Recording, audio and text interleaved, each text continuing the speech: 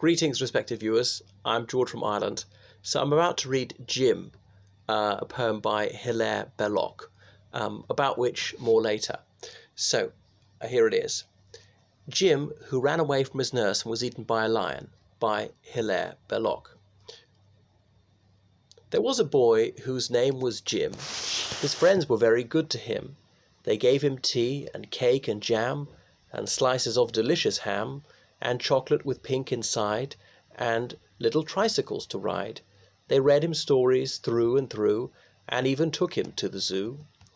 And there it was the dreadful fate befell him which I now relate. You know, or at least ought to know, for I have often told you so, that children never are allowed to leave their nurses in a crowd. Now this was Jim's especial foible. He ran away when he was able, and on this inauspicious day he slipped the hand and ran away. He hadn't got a uh, gone a yard when bang! With open jaws the lion sprang, and hungrily began to eat, the boy beginning at his feet. Now just imagine how it feels when you first your toes and then your heels, and then by gradual degrees your shins and ankles, calves and knees are slowly eaten bit by bit. No wonder Jim detested it. No wonder he shouted, Hi! The honest keeper heard his cry, and though very fat, he almost ran to help the little gentleman. Ponto! he ordered as he came, for Ponto was the lion's name. Ponto! he cried with angry frown. Let go, sir! Down, sir! Put it down! The lion made a sudden stop, and then let a dainty morsel drop, and slunk reluctant to his cage, snarling with disappointed rage. But when he bent him over Jim, the honest keeper's eyes were dim. The lion having reached his head, the miserable boy was dead. When nurse informed his parents, they were more concerned than I can say. His mother, as she dried her eyes, said, Well, it gives me no surprise.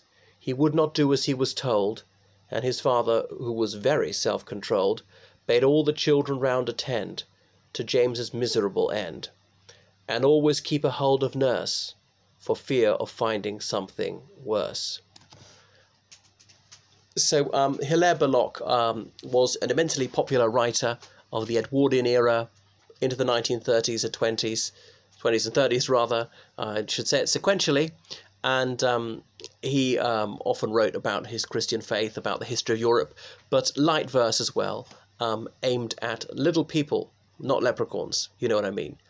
Um, and so this, this is an example of it. It's obviously got a simple rhyme scheme. It's a, it's a narrative poem. It's, it's fairly brief and it doesn't require a great deal of an explanation. Surprised that he went for the colloquial version of the name Jim.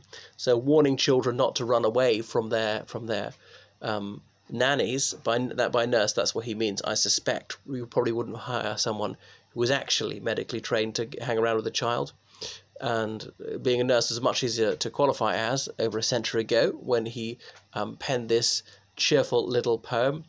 Um, anything else? Yeah, well, children children should know this. You'll be he's obviously writing it for quite wealthy children, such as would have a nanny to be brought, brought around. And there's some very British understatement, as in his his mother was more concerned than I can say, and all the rest. So plenty of rhymes, some half rhymes, and a little bit rhythmical. So I remember this, um, hearing this when I was about eight years old, so aimed at children of about my age, but uh, it was rather antiquated by the 1980s when I when I heard it. Well, that's enough from me. So please um, uh, subscribe, encourage um, your chums to do so, and um, if you're chuffed with that, I know you want to give me a handsome donation um, on on PayPal, georgecallahan79 at gmail.com, and book online lessons with me and all humanities subjects. Cheerio.